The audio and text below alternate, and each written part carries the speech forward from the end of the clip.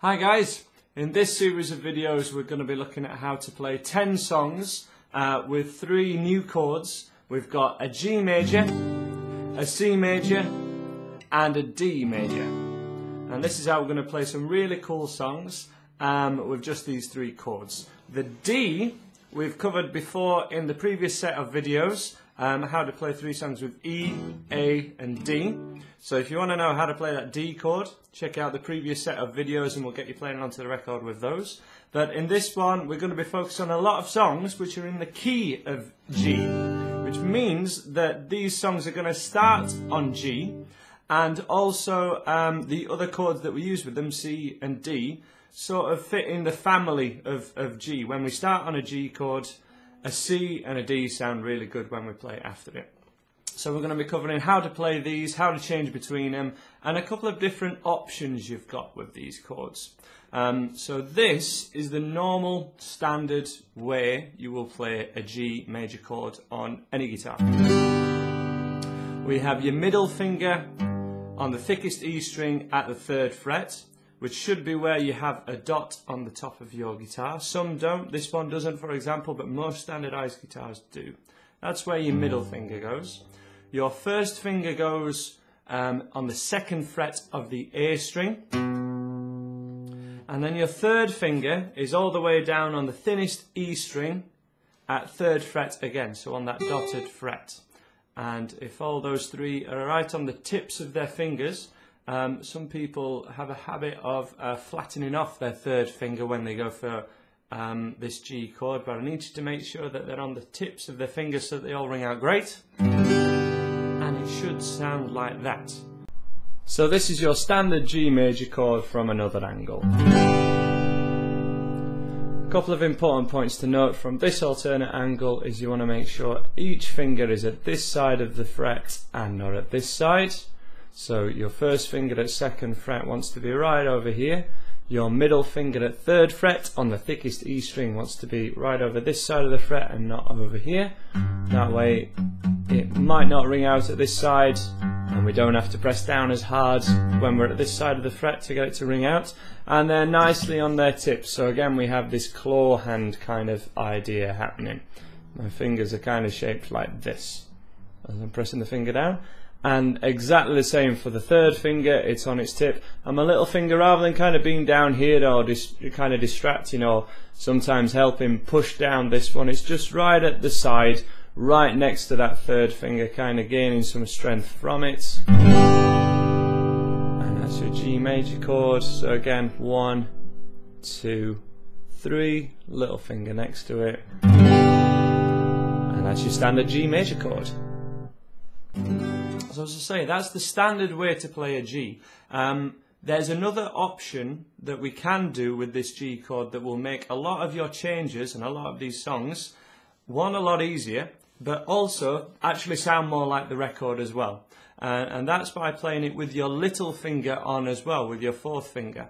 So from your standard G, we move your third finger up a string, but at the same fret, and then we have your little finger, your pinky, on the thinnest E string where your third finger was. So we've moved your third finger up and replaced it with your little finger. And that sounds like this. Now to my ear, that actually sounds like a more pleasant and nicer sounding G. Compare it to the old way. I prefer the sound of this one. It's a tiny bit more work because you are using your little finger for the first time.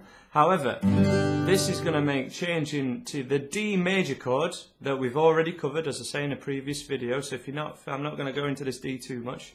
Um, but we make this little triangle shape with your first finger at second fret on the third string, so that's the G, and uh, middle finger on the second fret on the top E string, and then your third finger creates a little triangle shape and, and that's your D major chord. As I say, this gets used a lot with a G. And if we use this Noel Gallagher method, which is uh, what I nickname it with your two little fingers here, this way of playing G, I'm going to nickname the Noel Gallagher of Oasis fame, uh, G. We keep the third finger down and we have an anchor finger, which was really important in the first batch of videos that I made. Um, it really helps a change if you can keep one finger down all the time. In this case, it's your third finger, which isn't the strongest of fingers when, when you're first starting off. Kind of your first finger is the stronger one. But it should help. Keep that third finger down and you can change to a D chord. In my opinion, much easier. And in my experience, much easier for a, for a lot of absolute beginners um, than going for the standard G and then having to lift all fingers off and trying to find your D chord from there. This gives you a point of contact and it makes that change a lot, lot easier. So your alternative G major chord, this is your standard one. Third finger moves up one string and your little finger, which was right next to it a second ago, goes on the thinnest E string. Uh, so your little finger's on the little, the thinnest string and your third finger is on the next string up, which is your second string. First and second finger are exactly the same. They're where they were before, and everything on its tips. If these two fingers the temptation is going to be to hit them flat like this. Um, if they're going flat like this, it's unlikely that these top two strings are going to really ring out at all. We need them on the tips of their fingers, everything in this claw hand shape, kind of 90 degrees to the fretboard, and with your little finger and third finger as close together as they reasonably can be. and that's your Noel Gallagher style G major chord. Um, your third chord that you're going to need for this series of uh, songs is a C chord, which the standard way of playing it is like this. Here we have your first finger on the second string, so that's the B string at first fret. That note sounds like that. We have your middle finger on the D string at second fret, and then your third finger third fret, so the dotted fret one more time uh, on the A string. And this one we also, it's good at, especially at this stage, if you, you know, this is the first chord you've ever learnt, don't worry about this too much, but if you, you've played a few songs now with a few chords, strum that C chord from the, the uh, fifth string. Don't play the thickest E string, it can sound a little C chord sounding like that, that's fine. If you notice on the diagram, there's a little cross on that string. Uh, remember these diagrams are kind of written upside down, but um, so the, the cross will be on the bottom here, but this is actually your bottom string because it's the lowest one.